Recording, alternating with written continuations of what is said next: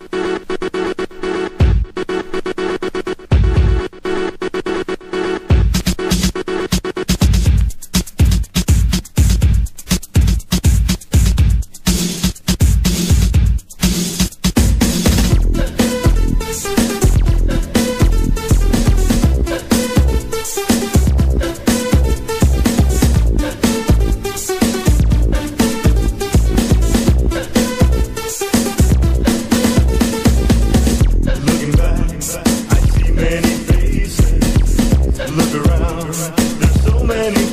places. I tried so hard to